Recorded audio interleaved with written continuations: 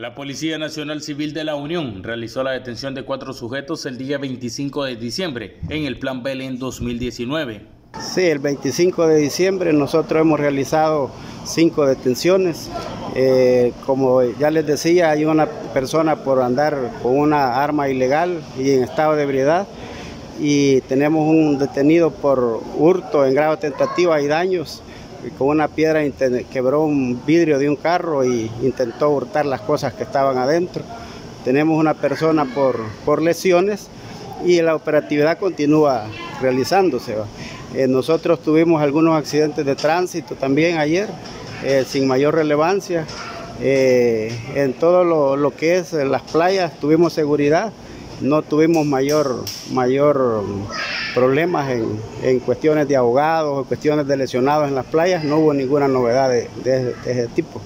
Los detenidos son acusados por los delitos de portación ilegal de armas de fuego, conducción peligrosa, daños y otros delitos más. Sí, el, señor, el señor que capturamos por daños se llama Cristóbal Salmerón Durán. Este señor fue el que intentó hurtar las cosas de un vehículo y con una piedra hizo, hizo un hoyo en el parabrisas para poder instruir.